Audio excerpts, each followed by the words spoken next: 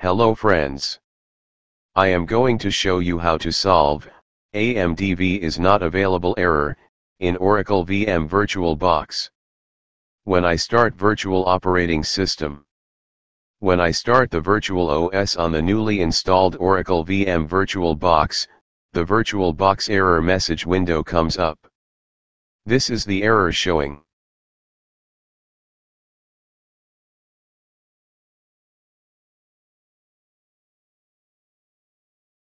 All the settings of the virtual machine are fine.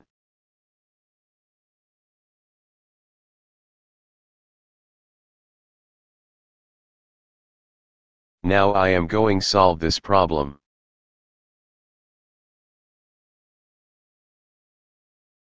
Move mouse cursor to search bar. Find Windows features. Now comes up turn Windows features on or off. Then open turn Windows features on or off.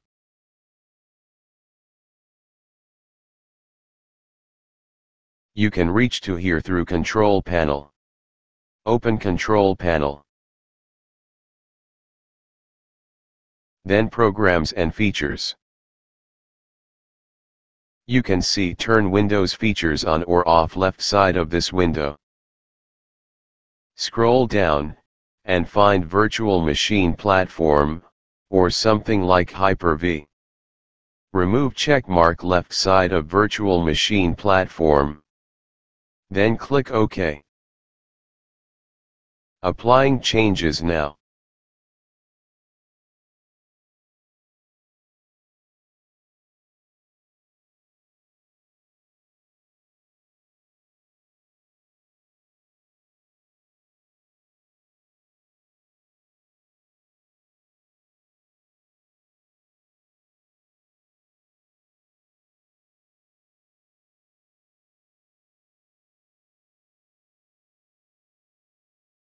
Close all opened windows and restart your computer. Start VirtualBox again and try to start. Coming same error again. Error not solved. We need to more fix, go to search bar. Enter CMD. Open command prompt as an administrator. If you receive user account control message box select yes. Enter this command bcd edit slash set hypervisor launch type off. Copy this command from my video description. Now you receive replay, the operation completed successfully. Close CMD and restart PC again.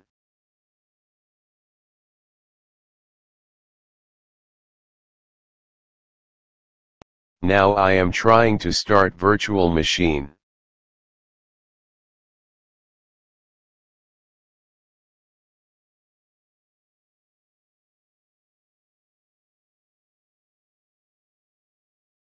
Error doesn't come right now.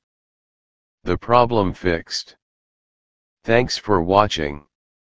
If you liked this video, make sure to subscribe for more.